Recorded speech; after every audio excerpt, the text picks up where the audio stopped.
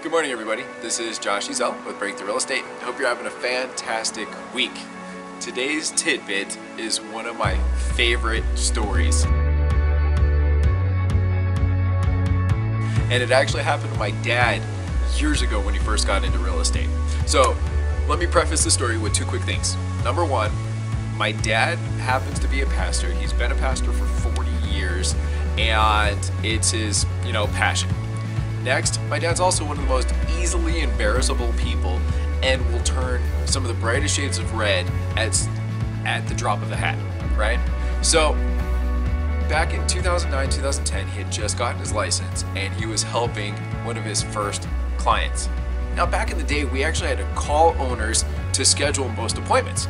So he scheduled the day's homes accordingly, right? And showed the first couple homes, no problem. Get to this said home and he called the owner just like we were supposed to. And most owners would say, hey, call us when you're on your way and we'll take off. Okay, no problem. So he did. They get there, he knocks on the door, nobody answers.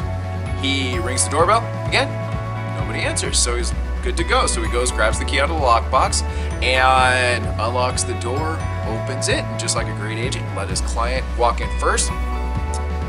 Next thing you know, you hear, "Oh my God!"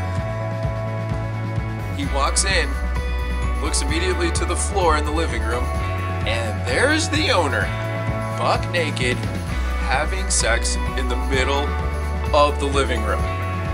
They look up instantly and say, Come join us!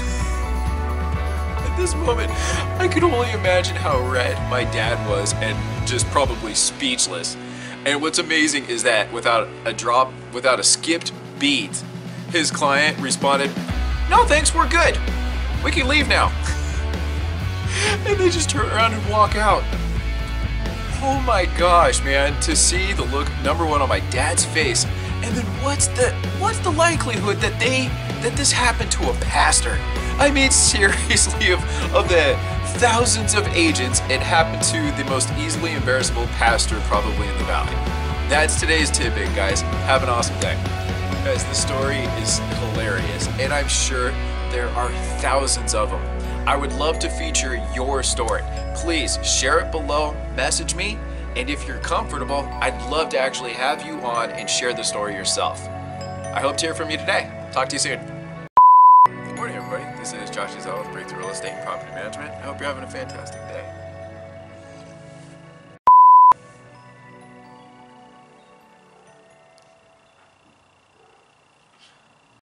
Share a little bit about Little One.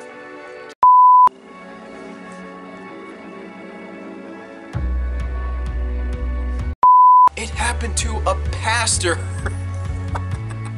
That's just crazy hilarious.